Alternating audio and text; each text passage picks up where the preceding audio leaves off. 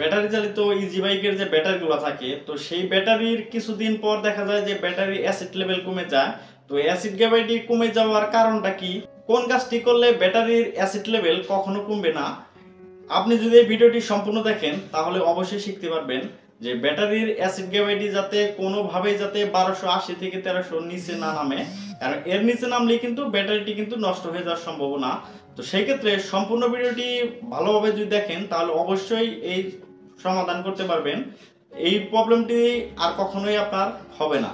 সেই ক্ষেত্রে না টেনে অবশ্যই মনোযোগ দিয়ে ভিডিওটি দেখবেন এবং চ্যানেলটি কিন্তু অবশ্যই সাবস্ক্রাইব করবেন।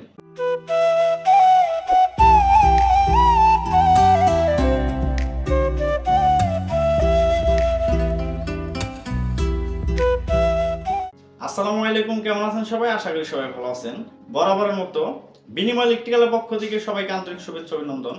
আজকের যে ভিডিওটি, সে ভিডিওটি হচ্ছে আমাদের যে ইজি বাইকের যে ব্যাটারিগুলো আছে, তো সেই ব্যাটারির অ্যাসিড গ্যাবাইটি কিছুদিন পর দেখা যায় যে কমে যায়।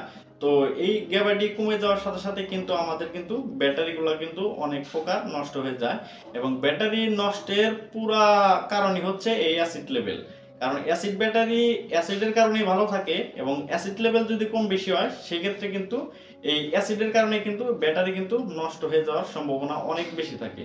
তো সেই ক্ষেত্রে অ্যাসিড লেভেল যদি আপনি সঠিক নিয়মে রাখতে পারেন, তাহলে এই ব্যাটারিগুলো কিন্তু অনেক দিনই কিন্তু ব্যবহার করার যোগ্য। আর অ্যাসিড লেভেল যদি সঠিক নিয়মে না থাকে, সেক্ষেত্রে কিন্তু এই ব্যাটারিগুলো নষ্ট হয়ে যাওয়ার সম্ভাবনা অনেক তাড়াতাড়ি হয়ে থাকে। তো সেই ক্ষেত্রে আপনি নিয়মগুলো ভালোভাবে মানবেন, তাহলেই কিন্তু আপনার ব্যাটারি কিন্তু অবশ্যই ভালো থাকবে। তা না হলে কিন্তু কোনোভাবেই ব্যাটারি ভালো রাখার সম্ভাবনা নেই। তো যেমন আমাদের যে ব্যাটারিগুলো আছে, তো সেই ব্যাটারিতে কিন্তু আমরা যে পানিগুলো থাকে, তো আমাদের গাড়ির যখন চার্জে দেওয়া হয়, তো চার্জিং অবস্থায় তো দেখা যায় যে আমাদের যে ব্যাটারি, সেই ব্যাটারির অ্যাসিড কিন্তু অনেকটাই কিন্তু ফুটি কাটে। তো সেখানে থেকে কিন্তু সেই অ্যাসিড কিন্তু অনেক গরম হয়।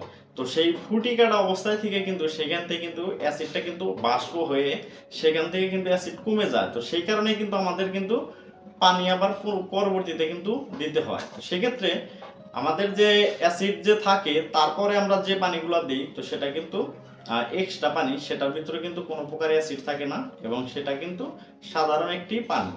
তো এইভাবে দিতে দিতে দেখা যায় যে আমাদের যে অ্যাসিড ছিল, সেখান থেকে অ্যাসিড কমে যাচ্ছে, প্লাস আমরা তারপরে কি পানি দিতেছি? সেটা সাধারণ পানি কিন্তু ব্যবহার করতেছি। এটা কিন্তু সবাই করে থাকি। তো সেই ক্ষেত্রে কিন্তু এখানে কিন্তু বাড়ার সম্ভাবনা একদম নেই। কারণ অ্যাসিড কমার সাথে সাথে আমরা কিন্তু আর অ্যাসিড ব্যবহার করতেছি না। সেখানে কিন্তু আমাদের যে সাধারণ যে পানিগুলো আছে, সেই পানিগুলোই কিন্তু আমরা ব্যবহার করে থাকি।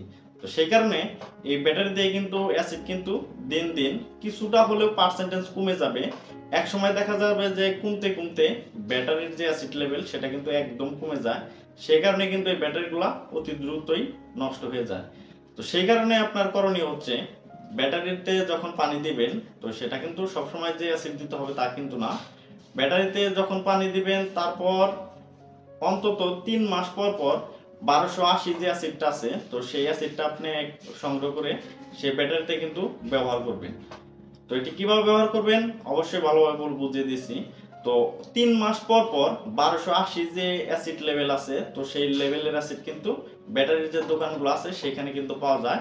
সেখান থেকে আপনি সংগ্রহ করে, যেমন আমাদের যে ছোট গ্লেনগুলা যে গ্লেনে পানি থাকে পাঁচ লিটারের মতো তো সেই রকম পাঁচ লিটার হলে কিন্তু আপনি সবটি ব্যাটারিতে জানি কিছু কিছু ব্যবহার করতে পারেন। একদিন যেভাবে পানি ভরেন, যে ব্যাটারিতে যেভাবে পানি ভরেন, সেইভাবেই কিন্তু বারোশো আশিও দিয়ে দিলে সেটা কিন্তু অবশ্যই প্লাস পয়েন্ট হয়ে যাবে। তো এইভাবে যদি আপনি তিন মাস পর পর যদি অ্যাসিড লেভেল ঠিক রাখেন, তাহলে কিন্তু আপনার ব্যাটারি অনেক দিন টিকবে। সেক্ষেত্রে ব্যাটারি নষ্ট হওয়ার ঝুঁকিটা অনেক কম থাকে। ব্যাটারি অ্যাসিড লেভেল ঠিক রাখুন, ব্যাটারি ভালো থাকবে, আপনারও কিন্তু অনেকটাই উপকার হবে। সেক্ষেত্রে আজকের ভিডিওটি এখানে শেষ করব। ভিডিওটি ভালো লাগলে অবশ্যই লাইক শেয়ার কমেন্ট করবেন এবং চ্যানেলটি কিন্তু অবশ্যই সাবস্ক্রাইব করবেন। আর এরপরে যদি কোনো বুঝতে কারও সমস্যা হয়, তাহলে অবশ্যই কমেন্টে জানাবেন। আমার যতটুকু সম্ভব আপনাদেরকে বোঝানোর চেষ্টা করব। ধন্যবাদ সবাইকে। ভালো থাকবেন, সুস্থ থাকবেন।